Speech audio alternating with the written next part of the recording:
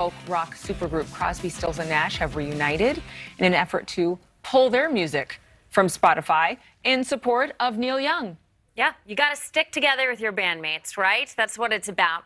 David Crosby and Stephen Stills are supporting former bandmate Neil Young and Graham Nash who recently asked for their music to be taken down from Spotify's 172 million subscribers. Now, Young started this trend when he pulled his solo catalog from the streaming service last week due to the fake information about vaccines being spread on the most popular podcast on Spotify, The Joe Rogan Experience. Artists continue to drop off, but Spotify had good news to report. Their monthly active users are up 18% from last year. Even though these numbers have no correlation to the current drama with musicians, it does help to change the narrative. It's just ironic timing, and we'll have to wait until next quarter to see if these protests will have an economic impact.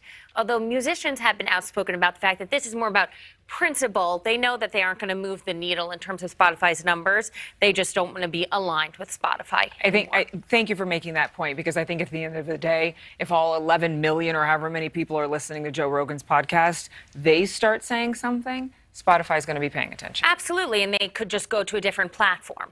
Thank you so much for watching. Make sure to click on the red subscribe button below so you can get more of News Nation's fact driven, unbiased coverage.